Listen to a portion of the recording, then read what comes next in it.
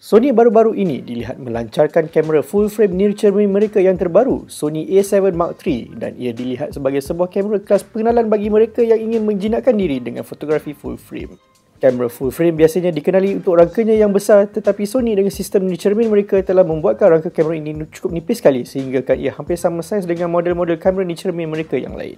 Sama seperti kamera A7R Mark III, kamera ini hadir dengan rangka kayu cuaca dan di bahagian belakang pula paparan LCD-nya hadir dengan ciri sesentuh yang memudahkan pengguna untuk menggunakan kamera ini. Kamera Sony A7 Mark III ini juga hadir dengan CMOS Exmor R full frame bersaiz 24.2MP dan menggunakan chip pemprosesan image Bionz X yang menjanjikan pemprosesan image yang pantas dan berkualiti tinggi. Kamera ini sama seperti kamera-kamera niche Sony yang lain juga boleh menggunakan lensa E-mount. Dari segi gambar, kamera ini mampu mengambil gambar dengan persekitaran yang lebih besar daripada kamera lain yang menggunakan sensor APS-C. Untuk mengesan objek, kamera ini hadir dengan tiga jenis sistem autofocus termasuklah face detection AF yang hadir dengan 693 titik fokus, contrast AF yang hadir dengan 425 titik fokus dan juga IAF yang cukup berguna untuk situasi-situasi di mana subjek sedang bergerak dengan cepat, melihat ke bawah, terhalang oleh objek lain dan sebagainya. Sistem autofocus ini sesuai dipadankan dengan kebolehan kamera ini untuk menangkap 10 gambar sesaat pada resolusi penuh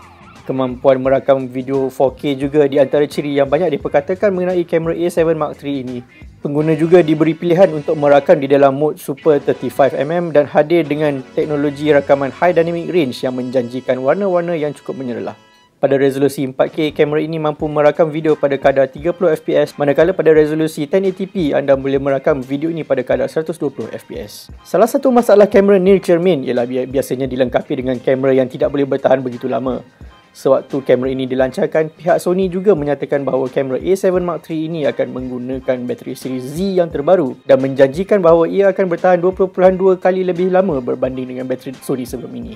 Sony juga telah mengumumkan harga kamera ini dan pada tanda harga RM8,999 untuk badan kamera sahaja, syarikat teknologi dari Jepun tersebut mengatakan bahawa kamera ini disasarkan untuk mereka yang mahu berjinak dengan hobi fotografi full frame. Sama ada anda rasakan kamera ini cukup bernilai untuk wang anda itu untuk anda tentukan. Sekian saja pandang pertama saya mengenai kamera Sony A7 Mark III ini. Anda bersama saya Nazrin dan majalah teknologi untuk negara.